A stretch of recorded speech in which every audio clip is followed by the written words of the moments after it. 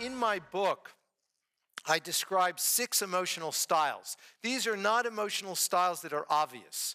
Um, they're not, they don't correspond to personality types. They are all directly based upon hard nosed neuroscientific evidence, and they come directly from the neuroscience literature. And uh, I don't have time to talk about each of them, but I'll describe each of them for you. The first one is resilience, and it refers to the rapidity with which a person recovers from adversity. How fast or slow are you to recover from adversity? The second we call outlook, and outlook refers to the extent to which or the skill that you have in showing persistent positive emotion.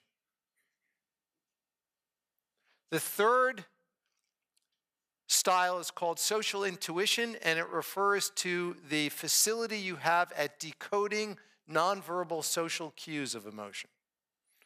The fourth is self awareness, and it refers to differences among people in their perception of their own bodily cues that are important for emotion.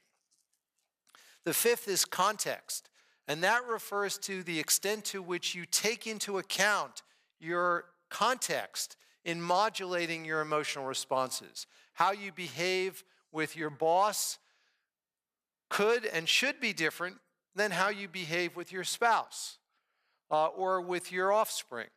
So, being able to modulate your emotional responses in a context sensitive way is another individual difference. And finally, attention, which normally isn't thought about in relation to emotion, but it's critically important and it refers to how focused or scattered you are, which turns out to play an enormously important role in aspects of emotion. So, I'm going to talk in more detail about a few of these and also show you some evidence for the plasticity of these emotional styles and how certain contemplative practices can actually alter um, these styles and their brain bases.